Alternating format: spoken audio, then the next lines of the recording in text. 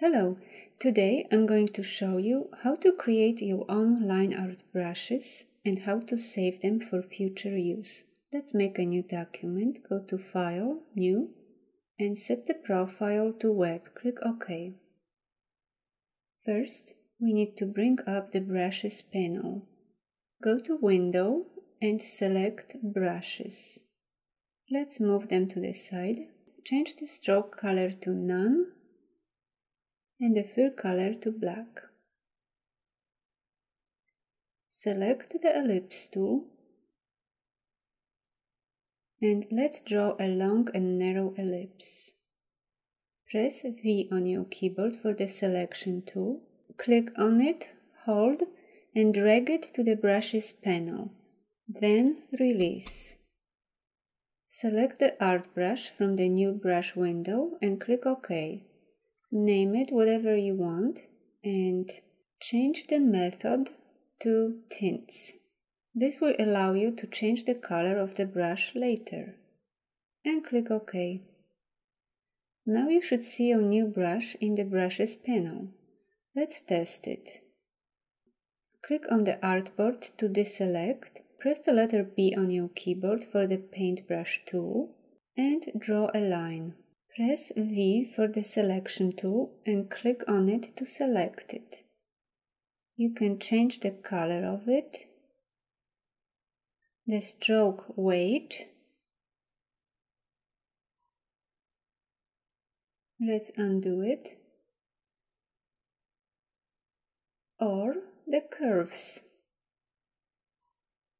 Let's make another brush.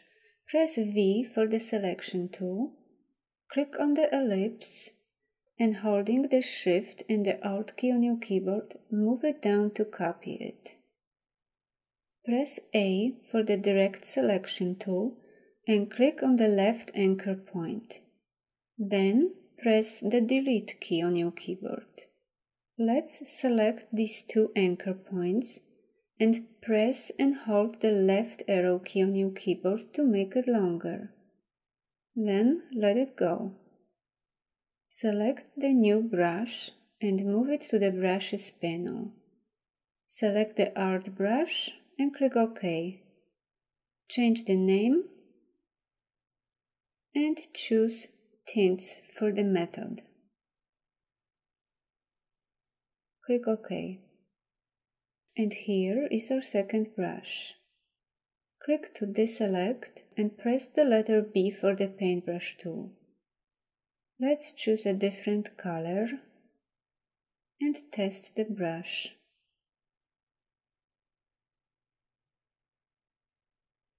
Now we will make a brush with a round end. Let's change the stroke color to none and the fill color to black. Select the ellipse tool and holding the Shift and the Alt key on your keyboard, draw a small circle.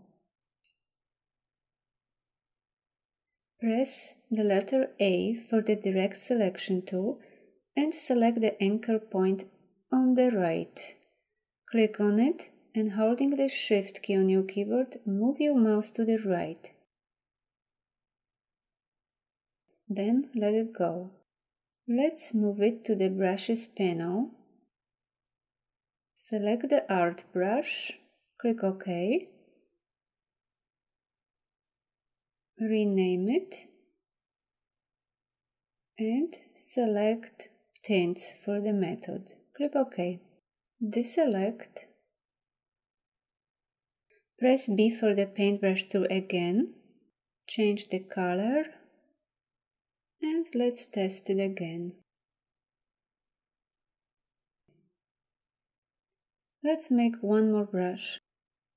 Change the fill color to black and the stroke color to none. Select the rectangle tool and draw a long and narrow rectangle. Next, go to the pen tool and select Add Anchor Point tool.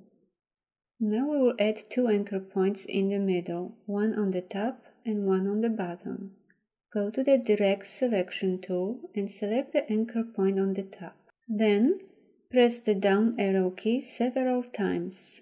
Select the anchor point on the bottom and press the up arrow key several times as well. Let's zoom in. Select the Convert Anchor Point tool. Click and hold the bottom anchor point. Press the Shift key on your keyboard and move your mouse all the way to the end. This will give you a nice curve. Let's do the same with the top anchor point. Click and hold. Press the Shift key and drag it to the right. Now let's move it to the brushes panel. Select the art brush, click OK, rename it and change the method to tints. Click OK. Zoom out deselect, press B for the paintbrush tool and change the color. And let's test it. Now I will show you how to save these brushes for future use. Go to the Brushes Libraries menu and select Save Brushes a new window will open and this is where your brushes will be saved. Let's change the file name and click Save. Now if you go and make a new document, you will need to bring up your saved brushes. Go to the Brushes Libraries menu again but this time scroll down to user defined and you should see your brushes. Move them to the side and start drawing.